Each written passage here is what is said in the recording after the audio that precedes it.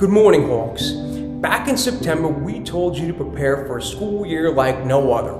Well, here we are in the middle of a holiday season like no one's ever seen before. With the number of COVID 19 cases currently on the rise, I, like many of you, have had to scale back my holiday plans this year. I traded traditional large family gatherings for Zoom meetings and FaceTime drop ins. So, how do we make the most of our holiday season while still embracing the spirit of giving? Recently, I was inspired by the work of some of our students at JP. That's right, I'm giving a shout out to say how proud I am to be the advisor of the JP Stevens Community Connections Committee, or CCC as they're more commonly known as. They showed the community and me that small acts of kindness can have a lasting impact on others.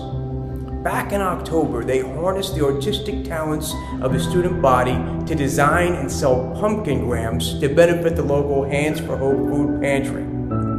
At the moment, they're painting holiday ornaments with proceeds to benefit the Make a Wish Foundation. If their efforts have taught us anything, it's that you don't have to help hundreds of people to feel like you've made a difference. Any act of kindness can have a desirable impact on others. So today I ask you to think about how each of us can make a difference in the lives of others. Consider making a donation to your local food pantry. Help a neighbor shovel snow this winter.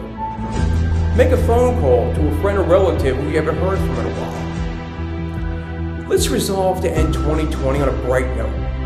Happy holidays, JP Stevens, and remember, Hawks fly high.